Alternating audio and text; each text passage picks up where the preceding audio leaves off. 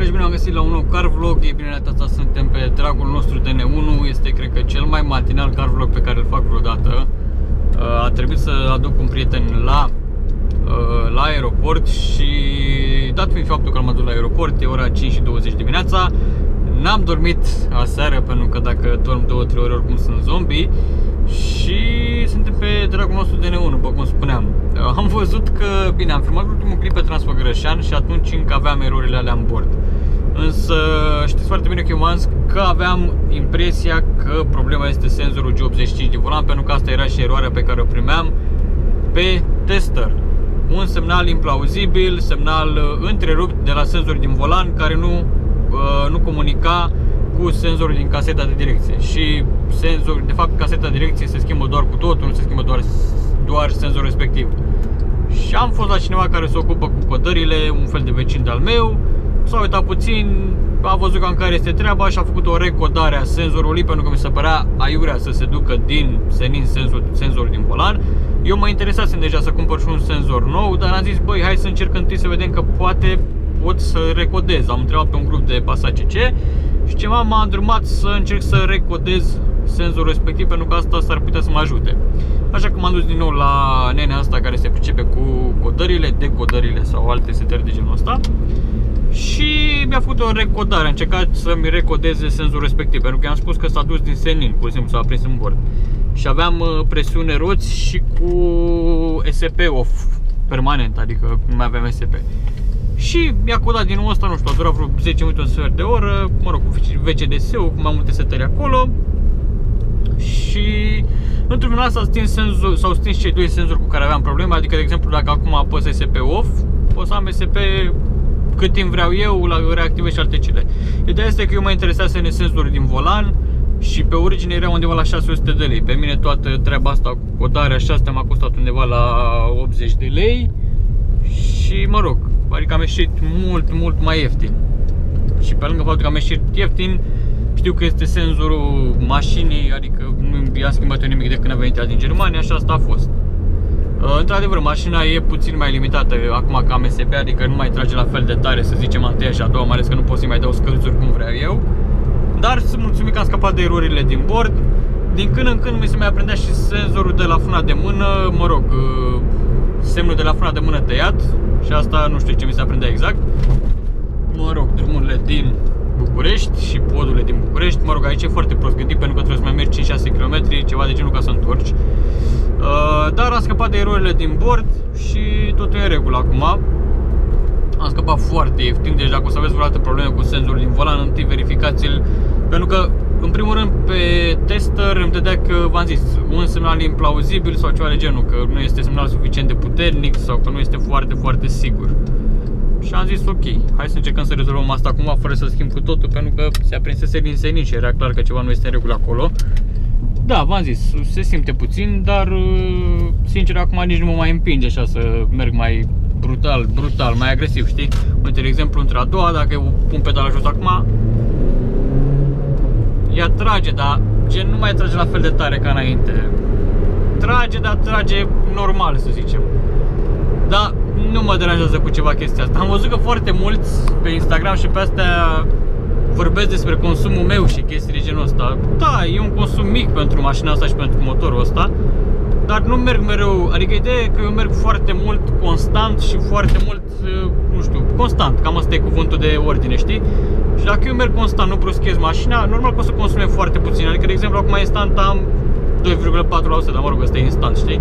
Nu bruschez pedala de accelerație, merg în frână de motor când îmi permite traficul și cam atât. În rest, după cum vedeți, din când în când mai dau a doua, a treia, a întâia mai tare ca să se mai curețe. Și asta e toată șmecheria.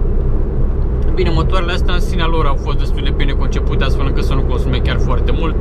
Fiind o mașină destul de grea, are o tonă 600 dacă nu mă înșel, da, asta este cu totul și cu totul altă discuție. Mă bucur că am scăpat de erorile alea, nu știu, dăm mult mai frumos acum, oricum mulți dintre voi mi-au zis, am pus un story, apropo de asta aveți Instagram în descriere, uh, mulți dintre voi mi-au zis să vede că a venit vara, că ai stins și tu becurile din bord sau alte cele. Oricum vreau să rezolv problema asta, adică clipul cu Danas Făgărășanu și astea erau filmate de mai mult timp și de asta voi încă vedeți cam erorile alea, dar n-am mai suportat, eu pur și simplu am vrut să le rezolv și am pus și testorul iar, nu mai am nicio eroare, nu nimic bine. Bineînțeles că au rămas stacate în memoria respectivă a mașinii, au rămas stacate erorile respective pentru că nu stau să le șterg sau astea și, și când o să fie să vând mașina, da. O să fac un clip și pe tema asta pentru că, da, de ce nu? Dar uh, asta în alte clipuri. De exemplu, acum am un consum de 4,7% și știu și chiar mă uit pe grupuri că sunt foarte mulți care sub 7% nu reușesc să scoată. E bine, eu am băgat acum 2 sau 3 zile de 2 milioane jumate motorii, nu știu exact cât au venit, vreo 40 de litri, undeva pe acolo. Uh, motorul e standard. Motorul ăsta Common Rail, nu știu dacă știți, ideea este că motorul ăsta are probleme, mă rog, e în funcție de norocul fiecăruia, dar poți să ai probleme cu pompa de înalte, care dacă începe să facă și până în instalație, piritură, a intrat în injectoare, s-a terminat tot, adică motorul tău este cam pa.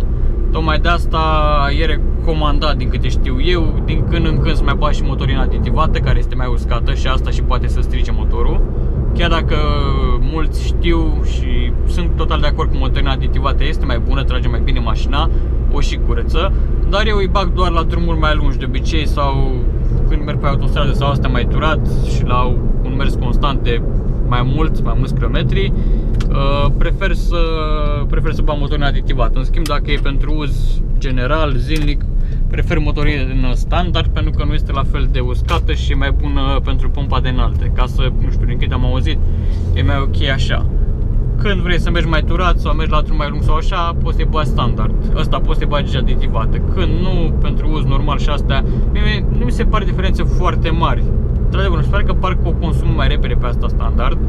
Bine, asta depinde de stilul de mers al fiecăruia. Pentru că, sincer să fiu, eu aveam consum mai mare pe Logan. Loganul consuma cam 6-7% dacă mergeam mai sportiv cu ea.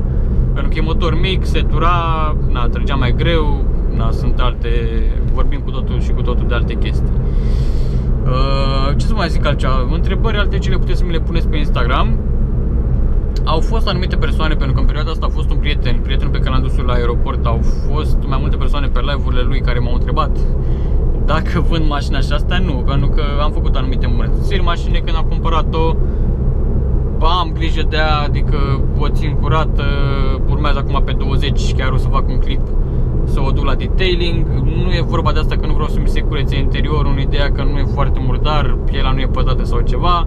Vreau să fac asta doar pentru mine și vreau să fac asta pentru că vreau pe cât posibil să întrețin pielea asta, că de obicei mașina mai stă și în soare și n-aș vrea să o văd gen când începe să crape sau ceva, deci de asta vreau să-i aplic acolo tot ce ține de hidratare, întreține piele și alte cere. Asta e cam ideea pe care vreau să o transmit. Și o să merg la o firmă din asta de retailing la mine în Pitești acolo, o să vorbesc cu tipul care se ocupă de asta, dacă e de acord să filmez ceva acolo, dacă e totul regulă o să-l și recomand mai departe. Mă gândeam și la, la o decarbonizare, dar nu știu, părerile sunt împărțite și nu știu, habar n-am, nu știu ce să zic dacă da sau nu. Mulți sunt de părere că decât să cureți motorul așa artificial, mai bine îl cureți tu cu niște talpă sau pur și simplu toate componentele care se pot înfunda sau astea de la subturare sau de la anumit uh, mers subturat, nu știu, habar n-am, de la anumite condiții de condus, mai bine cureți, ca să zic așa, natural și totul e în regulă. Nu știu ce să zic de chestiile astea, nu este treaba mea. Dar, uh, nu știu, aș vrea să încerc, într-adevăr, s-au făcut studii, am văzut și la 99 Vehicles, la Răzvan, dacă știți pe numele asta, că da, într-adevăr, scade noxele, dar părerea mea e că, nu știu, oricum e rar, ăsta ITP-ul fac peste 2 ani și rar e făcut, adică nu, nu prea m-ar privi chestia asta în vreun anume fel. Da, și după cum ne vedeți, s-a și luminat afară, e 5.30, oricum o să ajung pe la 7 acasă. Dacă ați avut anumite... A, este în comentarii un tip uh, Renault Petrolhead, ceva de genul. Mă, frate, am impresia că ai mai avut un canal de YouTube tu înainte și tot așa, erai foarte mâhnit și susțineai Renault. Sunt total de acord că mașina Renault și brandul Renault e un brand ok, motoarele sunt ok, mașinile sunt ok. Dar te rog eu, nu mai susține peste tot că Renault e cel mai tare, că Renault e peste Mercedes, că e peste alte mașini. Fiecare mașină are ceva al ei, fiecare brand are clienții lui și și atras prin anume, prin orice anume. N-am nimic cu tine pentru că În plus, da, în fond, de fapt, dacă aveam ceva cu cineva, crede-mă că aveam cu Bogdana Naser care își laudă BMW-ul din 2000 peste tot pe tot YouTube-ul ăsta, știi? Dar n-am nimic cu voi, că voi spuneți punctul de vedere, dar exagerezi. Cum și Volkswagen își atrage clienții prin ceva, așa și Renault își atrage prin ceva. Renault, în ultima perioadă, chiar s-a ridicat destul de frumos și mai ales la capitolul design, ultimele modele de Renault sunt superbe de-a dreptul și sunt total de acord și susțin pe cineva dacă vrea să-și cumpere ceva, o mașină frumoasă Renault. Și nu nu știu, sunt deci exact tu ești la care îmi spunea uh, vă cumpărați cazane din Germania, că Luțiu trebuie să schimbe acum senzorul din volan. Pur și simplu, frate, e o mașină care are, are aproape 10 ani, de eu am cumpărat mașina asta că mi-a plăcut, nu mergi cu nu mergi cu anul fabricației pe stradă sau cu ceva. Pur și simplu mi-a plăcut mașina asta că e dotată, că e frumoasă și o mașină tinerească. Nu-mi trebuie mai mult de atât mie, fix ce-mi trebuie mie la vârsta asta, e fix pentru cerințele mele, pentru dorințele mele și alte cele, știi? Deci asta unii dintre voi nu înțelegeți și, mă rog, nu are rost să mai explic din nou pentru că știu că nu o să ajung absolut nicăieri. Dar, mă rog, mai puțin contează asta că și dacă o să încerc să explic și dacă nu o să încerc și alte cele, e cam, e cam degeaba, aia e problema și nu mai contează. Dar, mă rog, asta e cu totul și cu totul altă poveste pe care nu știu dacă are rost să vă spun sau nu. Aici am întors că mi-am dat seama că trebuie să merg în altă parte. Mă rog, Uh, trecând peste toate chestiile astea, orice fel de întrebare aveți sau orice fel de nedumerire aveți sau orice fel de, nu știu, puteți să spuneți în comentarii, o să încerc să vă răspund. Și cam asta, cam asta ar fi clipul, nu știu, la podul ăsta se lucrează de foarte mult timp, nu știu ce doamne arată mai tot fac, dar poate o să fie și el pus la un moment dat în uz și să putem să ne folosim de el. Da, Cam asta ar fi clipul, așteptările voastre în comentarii și ne revedem la alte episoade. Mersi de vizionare. Salut!